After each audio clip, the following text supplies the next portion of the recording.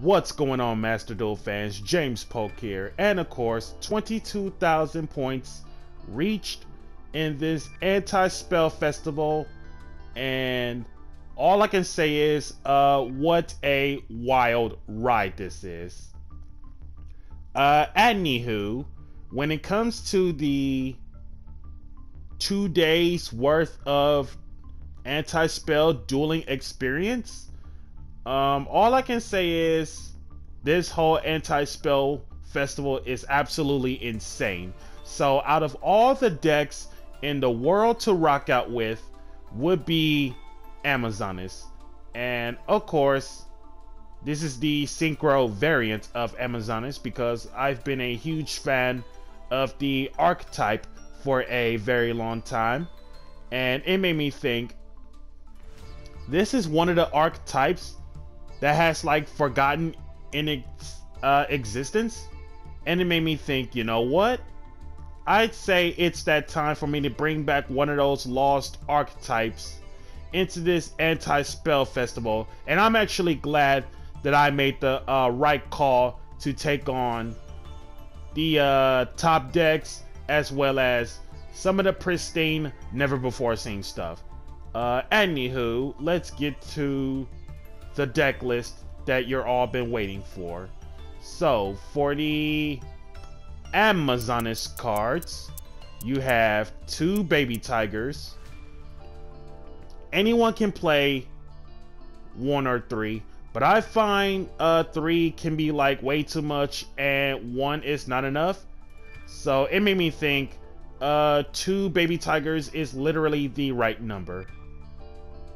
And when it comes to Amazoness Baby Tiger, its name is Amazoness Tiger while it's on the field or graveyard. And then if an Amazoness monster is no more special to your field while this card is in your hand or graveyard, special this card. And its uh, special summon effect is once per turn. To Amazoness Spy.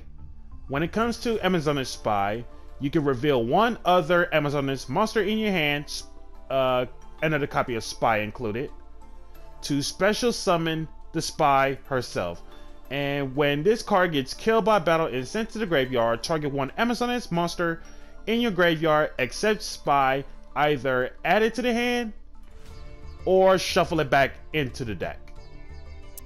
Three, Amazoness Princess. This is the card that you want to see the most because first off, her name is Amazoness Queen while she's on the field or graveyard.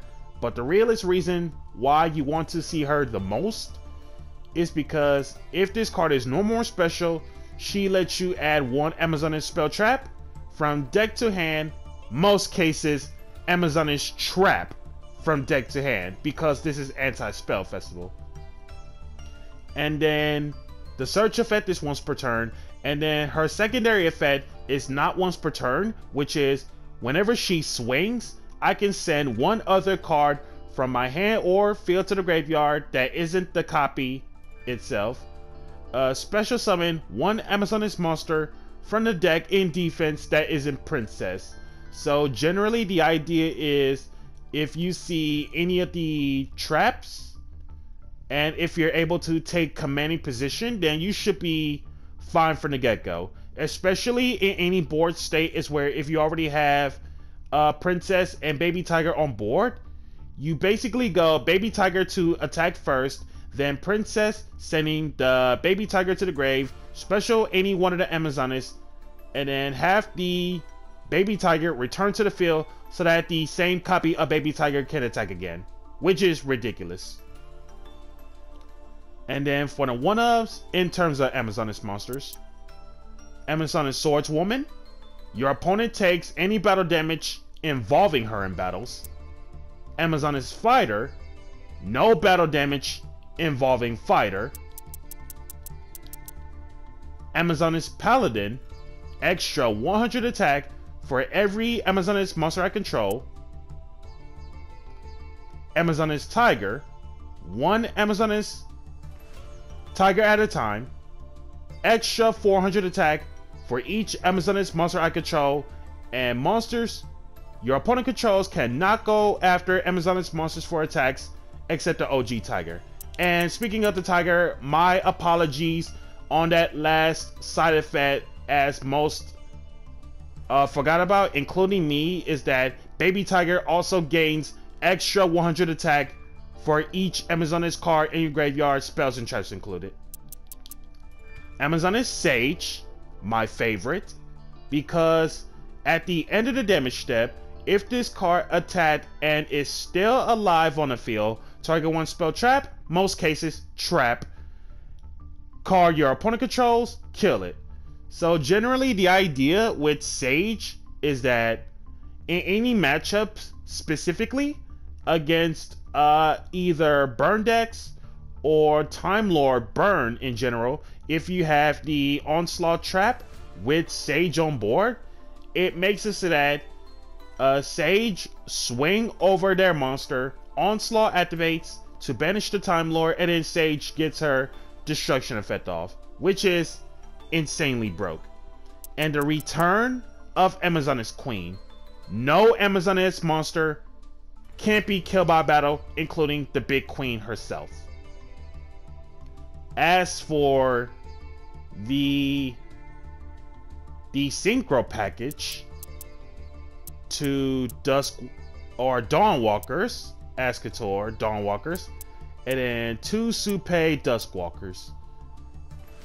And then when it comes to the the Dawn and Duskwalkers, during the turn, I use either of those effects, I'm locked into synchros. I can discard one card, special summon this card itself in defense, then Dawnwalker, who specifically specials Fire Ant Ascator from the hand or deck. And as for Fire Ant or Fire Ant Ascator, when this card gets killed by battle and sent to the graveyard, target one level 5 monster in your graveyard, special summon that target, but its effects are negated, it can still attack by the way.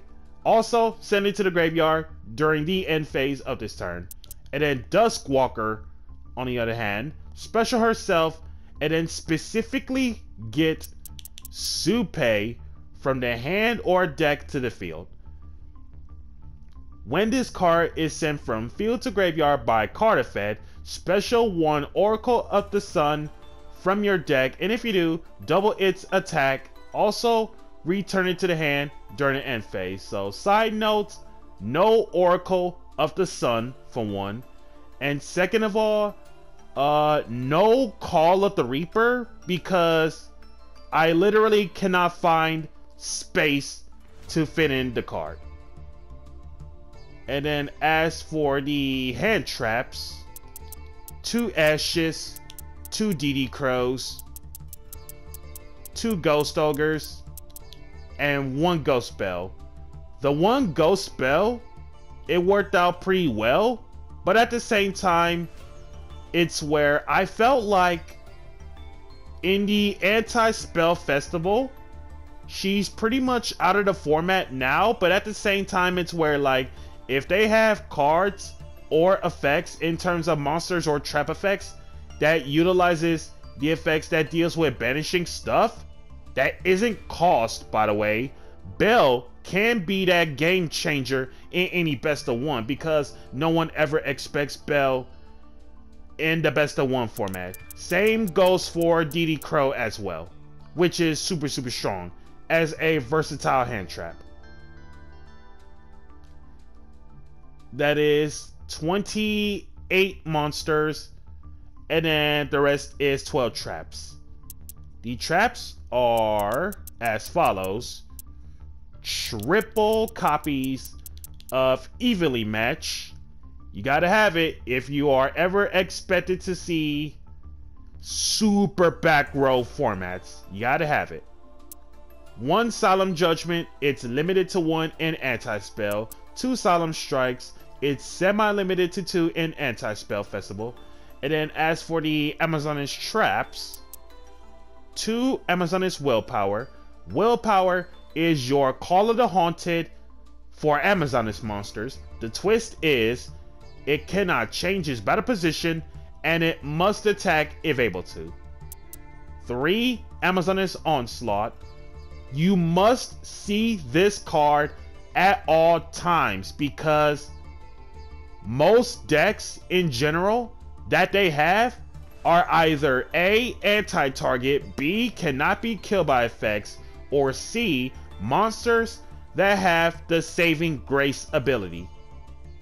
With the help of Princess searching it out, you must max out on this card so that you are able to see. If you do not see this card at all times, you're going to lose.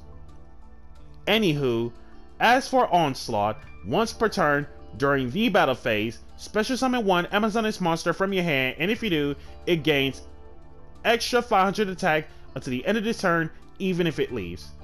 And then the secondary effect is not once per turn, it does not target, it does not destroy.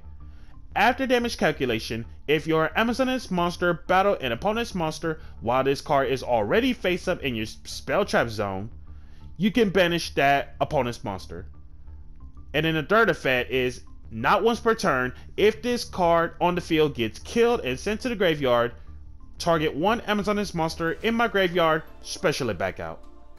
And the best card that I saved for last, and it literally saved me defensively three separate times and two times on the extension. Amazoness Shamanism. When it comes to Amazoness Shamanism, destroy all Amazoness monsters I control, then special summon level 4 or lower Amazoness monsters from your graveyard in face up defense up to the number of monsters destroyed by this effect. So in this context, the more Amazon Amazoness monsters you have in a grind game state, it's basically soul charge of level 4 or lower Amazoness monsters. As for the extra deck, Goyo Guardian, this card came up only once or twice throughout the whole entire anti-spell festival this card is pretty pretty good, especially the fact that if uh, monsters that are the range of over 25, but not lower than the 28, I believe so. Either way, if it's over 25 yet less than 29, you should be in a pretty good spot to have Goyo Guardian steal the destroyed monsters and able to take command position, or take control of the field at that rate. Naturia Barkion. This is the best card in the extra deck. The game instantly ends. As soon as you make Barkion, the game is literally over. Uh, when it comes to Naturia Barkion, he must remain face up at all times in order for his effect to work not once per turn, when a trap card is activated, no matter whose, and not the effect of the trap card, but the trap card is activated, as a quick effect, banish two cards from grave, negate the activation, and if you do, kill it. As in, not once. Moon Dragon Quilla. This was basically the synchro food or the fodder for Hot Red Dragon Archfiend Abyss. But at the same time, uh, in terms of on-field board presence, he was never used, ever. So when it comes to Moon Dragon Quilla, if this card is targeted for an attack, gain life equal to half of the attacking monster's attack. If this card on the field gets killed in any shape or form, target and reborn Sun Dragon Inti. And speaking of Sun Dragon Inti, there he is. If this card gets killed by battle and sent to the graveyard, destroy the monster that just killed it, and if you do, burn your opponent equal to half of the attack of that monster had on the field. And then once per turn during the next standby phase, or during the standby phase of the next turn, after this card on the field gets killed, target and reborn Moon Dragon Quilla. So essentially, if you're in a stalling position, these two, the Sun and Moon monsters, these two can loop each other. Celestial Wolf Lord Blue Sirius.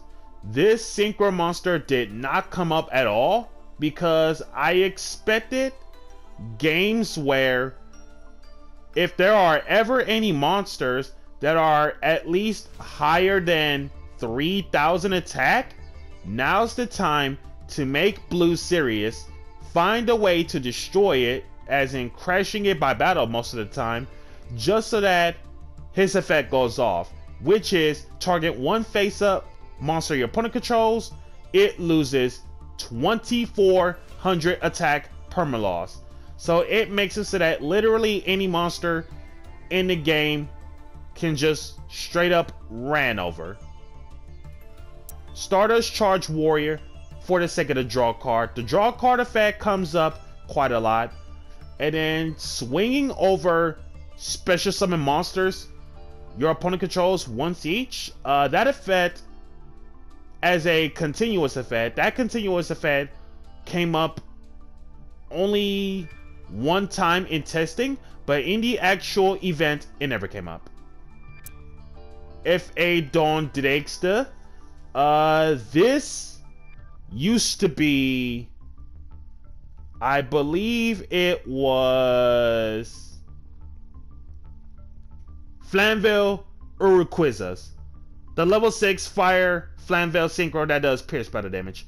Dawn Dragster used to be Flamvell Uruquizas because at first I said to myself, we already got the uh the damage control cover, but the only thing that I uh realized was that we need something that deals with not only spell trap negates, also as an actual monster that is something that people forgot about in this day and age is that obviously as an FA gains attack Offerment's level times 3, so he'll be 21 by default. And then as an actual monster effect, or as an actual monster card, this is something people forgot about. If this card attacks a defense monster, pierce battle damage. And then uh, its other effect about FA spells and traps being active, increase the level by one, but no FA spells and traps that effect is uh, irrelevant. And its real effect when it comes to the meta game is that once per turn during either player's turn is a quick effect, when your opponent activates a spell trap effect or spell trap card or the effect of the spell trap, reduce the levels by 2, negate the activation, and if you do, destroy it. Which is ridiculous.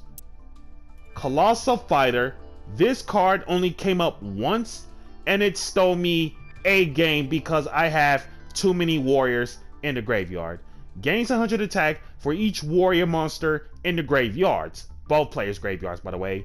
And when this card gets killed by battle and sent to the graveyard, target one warrior monster in either graveyard, special summon it. So basically, Colossal Fighter is the monster reborn of warriors, no matter what level it is.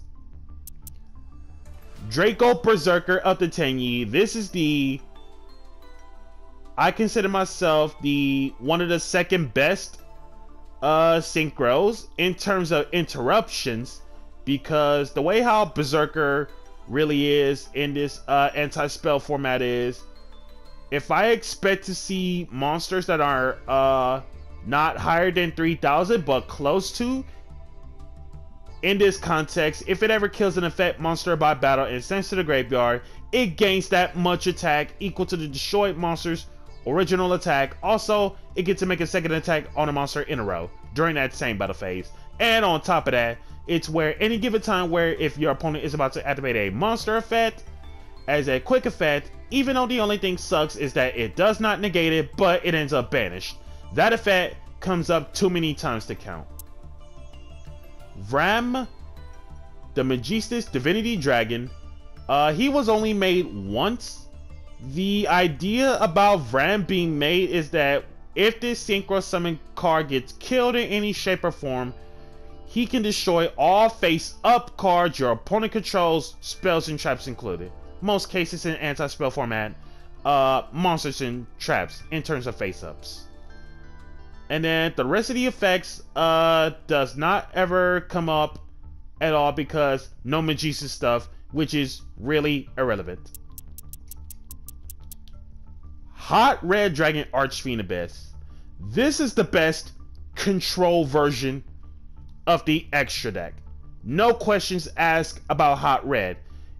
Or as I like to call him, one of those do not let this synchro hit you because when Hot Red does battle damage to your opponent, target one tuner in your graveyard, any shape or form of a tuner, special summon it in defense. And then the quick effect, we all know what's up with Hot Red about the face up card your opponent controls, Omni negated, spell trap included. And then that's pretty much all of the synchros I play. And out of all the synchros being seen, um, all of them except Blue Sirius was made. So he's most likely gonna get cut for sure. And if I were to come across this scenario where if I expect to have Hot Red Abyss, take the damage. Yeah, take the damage to the opponent so that Hot Red revive the Fire Ant just so I can go into Final Sigma.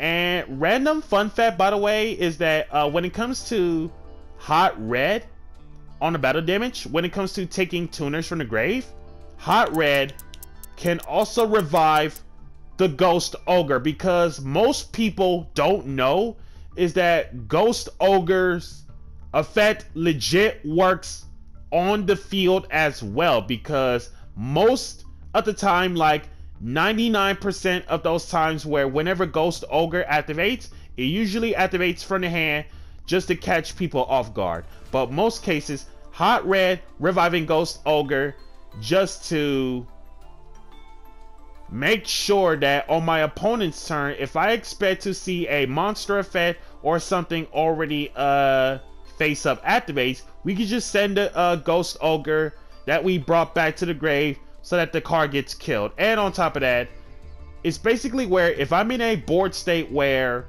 uh, if there was nothing to lock my opponent out of, then it's pretty much hot red, take Ghost Ogre, and it just keep on constantly destroying stuff. And then for the links, Missus Radiant, card comes up all the time. Darumidol, best link ever printed. Aussa, super nice. Missus Radiant here. Uh, buffs up all Earths by 500 attack and defense. And the wind uh, decreases extremely irrelevant unless your name is uh, Stardust Charge Warrior. He be at 16 because loss of 400 attack and defense. So 16 attack and 900 defense. But the wind debuffs does not matter unless you're going up against something that's like super windy based, that debuff does matter. And then the last effect is if this card gets killed by battle or card effect, target one earth monster in your graveyard, literally any earth, add it back to your hand, which is nice. Darumidol, best link ever printed. If you are wondering how I can make Darumidol in this deck, that would be the likes of the two baby tigers, the one actual tiger, don't ever bring out baby tiger back to the field whenever big tiger is around, and Mrs. Radiant. Extra 100 attack for each beast, beast, warrior, and winged beast everywhere on the field. And then soft once per turn, he's basically a scrap dragon of spells and traps. So that way you can pop your Amazoness onslaughts, to literally revive any of your Amazoness monster, or you could just like also pop your dead uh, Amazoness willpower so that you can free up the room for turning on evenly match in your if you're in a losing position. And on top of that, whenever Darumidol kills a monster by battle, you can target one of your Beast Beast Warrior and Wing Beast monster that is banished or in your graveyard, add it back to the hand. So that would be the likes of Missus Radiant,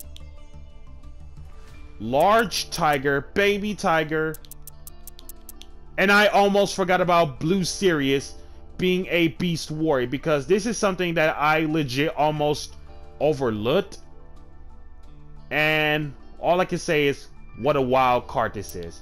And then uh Velma, we know what's up with Velma because I obviously play Charmers, so there's not much explanation to say about it. And then out of all of the search targets in the deck when it comes to Velma, Supe, Baby Tiger, Fire Ant,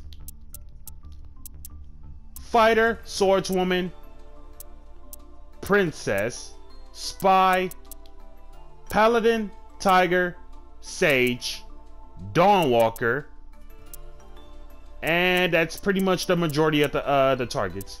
And then Mekk-Knight Crusadia Avramax. Generally, the idea is that I make Aussa first, Aussa, Steel, and Earth, and then as long as I control another monster, and hopefully if it's Earth, so Aussa, Steel, and Earth, and then control another uh, Earth monster, make Missus Radiant, and then two monsters from the extra deck, Mekk-Knight Crusadia uh, Avramax. Uh, he actually came up only once, and this card is absolutely ridiculous.